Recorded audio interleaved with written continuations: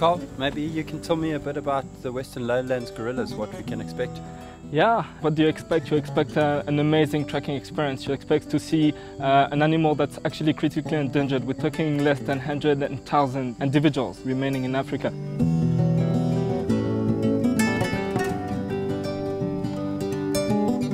Western lowland gorillas are very different from the mountain gorillas, for example. Slightly smaller, got uh, less fur than the mountain gorillas, but the silverback's got a more silver back than the mountain gorillas.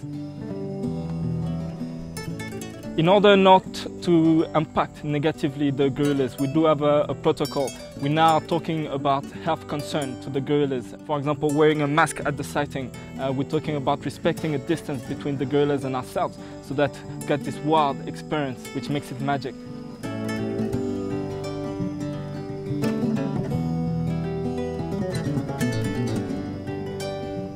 I'm semi-fit. I mean, uh, these days I don't get to sort of hike as much as I would like, and I found the first 15 minutes were a little bit difficult, but after that, body warmed up, muscles warmed up, and it was easy going.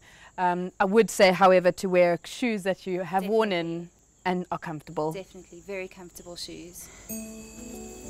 This is a very off the beaten track destination. The beauty is that you're in a remote place.